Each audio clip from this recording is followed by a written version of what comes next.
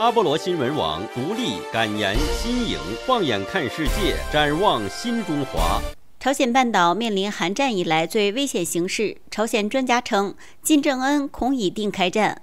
震惊！赶超朝鲜，中共正在批量制造人肉机器。阿根廷川普米莱一个月成绩惊爆世界。伊朗袭击巴基斯坦，导弹全都没拦住，印媒嘲笑，报中共防空导弹外强中干。欢迎收看阿波罗网热点直击。今天是美国时间一月二十二号星期一。我们通常在视频发布后一小时内提供字幕，您只需点击视频上的 CC 按钮即可打开字幕。下面请看详细内容。朝鲜半岛面临韩战以来最危险形势，朝鲜专家称，金正恩恐已定开战。朝鲜领导人金正恩上月在演说中否定了与南韩和平统一的可能性，将两国关系描述为敌对的两国和交战国。新头壳报道，美国国务院前情报与研究局东北亚处长卡林与加州蒙特瑞密德伯里国际研究学院教授赫克尔近日共同撰文示警，金正恩去年以来的最新举动可能超出了一贯的虚张声势。文章写道：“这听起来可能过于戏剧化。”但我们相信，金正恩已经做出了开战的战略决策，就如同其祖父在1950年一般。我们不知道金正恩计划何时或如何扣下扳机，但危险已经远超出华盛顿、首尔和东京对平壤挑衅的例行警告。我们不觉得自去年初以来，朝鲜媒体上出现的备战主题是典型的虚张声势。文章指出，金正恩2019年与美国前总统川普在河内举行的峰会失败，使金正恩颜面扫地。该会谈的核心是以朝鲜承诺逐步停止武器计划为交换条件，换取减免制裁的可能性，但都未能实现。明显迹象显示，北韩2021年夏秋季决定开始与过去战略做一重大决裂，从希望与美国关系正常化的战略目标，转向朝中国和俄罗斯的战略再定位。东京大学国际关系系助理教授山口亮则说，北韩在拉拢中国和俄罗斯成为盟友方面取得了进展，但平壤对这两个国家的信任程度还不足使其相信发生战争时中俄会对朝鲜伸出援手。阿波罗网评论员王笃然分析，金正恩他在审时度势。原来川普在位的时候，金正恩把核试验停下了。现在他发现拜登没有办法平息世界的战火，所以他在习近平和普京的鼓动下跳出来，和美国叫板捣乱，来转移美国对中共和俄罗斯的压力。金正恩虽然增强了他的核实力，但是他也不会贸然开战，因为开战的结果会导致金家王朝的灭亡。核武器是金家的保命武器。假如说美国左派一直掌权，美国迅速衰落，无力阻止他吞并韩国，他可能会走向战争。但韩国军力也不弱，韩国的军事实力在全球范围内通常排名在第六至第十位之间，朝鲜的具体排名可能在第二十至第三十位之间。常规战争，金正恩并没有胜算。震惊！赶超朝鲜，中共正在批量制造人肉机器。看到自己的儿子接受种种洗脑，气愤又无奈。河南许昌前英语教师任女士 （Lucy 任）终于和丈夫下决心，于去年三月加入了走线大军，逃到了美国。任女士的儿子就读的是许昌当地的重点学校，习近平的特大画像，还有什么社会主义核心价值观等大标语牌遍布教室内外。他向大纪元表示。从孩子踏入校园的一刻起，洗脑就开始了。对于精力充沛、记忆力好的孩子们，背下短短的二十四字社会主义核心价值观并不难。闲暇时间心思不在党这儿怎么办？党给他们安排了更难的课程。任女士说，每个学校给每个孩子发了一本书，叫做《习近平新时代中国特色社会主义读本》。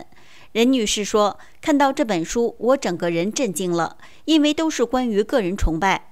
任女士表示：“这是在赶超朝鲜吗？真的是有过之而无不及。”她发现，可能是学校或政府担心老师们上这门课不用心，就让校长亲自讲解，像钉钉子一样，要把爱国、爱党、爱习近平钉在孩子们的脑子里。除了特别的洗脑课，其他课程，尤其是语言文化课，也融入了洗脑内容。任女士说。来美国已经八个多月。说到语文课本中那些洗脑的课文，他小学四年级的儿子还能背出题目。每一学期都有好多篇爱党爱国的课文，什么习近平爷爷植树啊，朱德的扁担啊，升国旗啊，为人民服务啊，等等，太多了。校方利用孩子们要求上进的心理，哄骗他们加入少先队、共青团，孤立那些不加入的学生。此外，还利用孩子喜欢看电影进行洗脑、灌输仇恨。他说：“我孩子被要求去看很多红色电影，强制去电影院看那种电影，什么《我和我的祖国》《长津湖》之类的。看完《长津湖》，有的孩子说他真想冲进去把美军杀了，把食物抢走。其他学生也附和。”任女士听到后感到阵阵悲哀。任女士说：“党国不分、混淆视听的中共，去年还强推爱国主义教育法，把所谓爱国爱党变成法律。我觉得我能力有限，改变不了现状，但我也不想为虎作伥。明知道这种教育是错的，还引导孩子们去爱国爱党。”他悲叹中共中小学的洗脑教育真的是聚天下英才而毁之，孩子们成了没有独立思想的机器了。在洗脑之外，当局的网格化管理、无孔不入的监控，也让任女士感到无法在中国生活下去。她说：“基本上每个小区都有监控民众的标准配置，一个网警监控微信，一个派出所警察，还有一名负责社区的政府工作人员。一旦发现谁涉及敏感词，就要强制带走喝茶。”他表示，共产党的种种做法就是要切断你看世界的正常眼光，由此造就出一批又一批人肉机器和奴隶。任女士希望逃出中国的人们不要再沉默，要积极为国内民众发声，并帮助更多海外华人看清中共。阿根廷川普米莱一个月成绩惊爆世界。澳洲的华人女作家李娟日前在 X 平台撰文分析，看看体制和政策的重要性。坚决反对白左的米莱十二月十日执政后，阿根廷十二月份当月实现贸易顺差十点一八亿美元。此前在白左执政的月份，资源丰富、地广人稀的阿根廷进出口同比分别下降了百分之十六点九和百分之二十五点一。在此情况下，阿根廷二零二三年全年出口六百六十七点八八亿美元，同比下降了百分之二十四点五。全年进口总额七百三十七点一四亿美元，同比下降百分之九点六，贸易逆差近七十亿美元。米莱当选这一个多月，除了立即实现了贸易顺差，阿根廷股市梅尔瓦指数从不到六万点上涨到十一点三万点，涨幅两倍。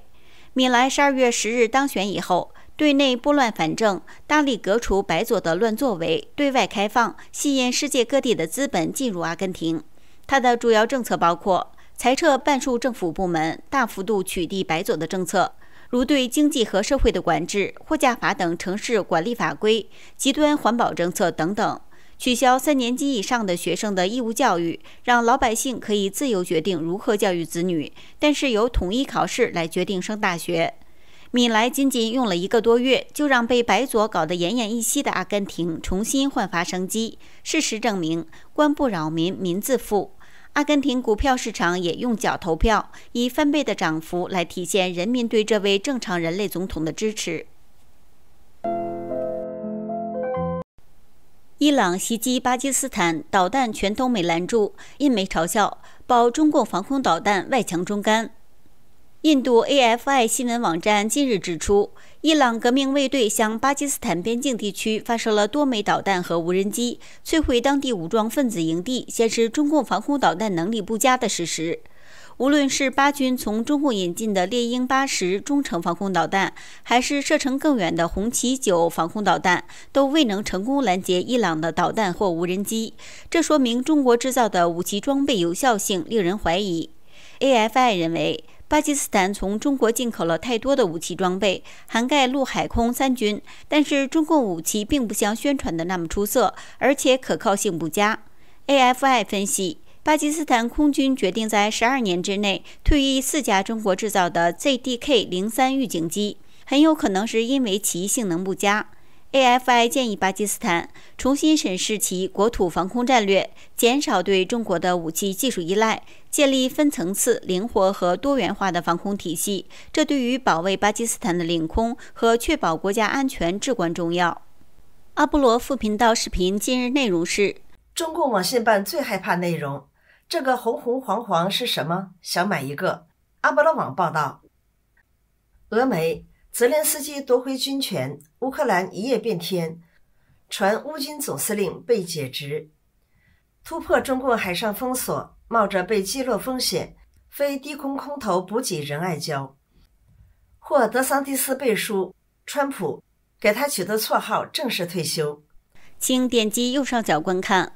感谢会员的无私赞助和大家的支持，请您订阅、点赞、转发和留言，分享您的见解。